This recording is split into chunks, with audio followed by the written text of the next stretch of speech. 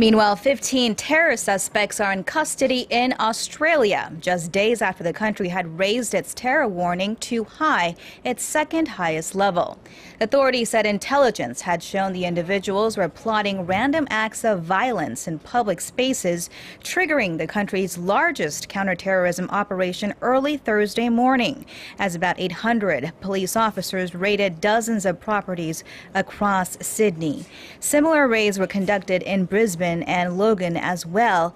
This as police in Kosovo have also arrested 15 people in an effort to obstruct the recruitment of fighters for the self-dubbed Islamic State.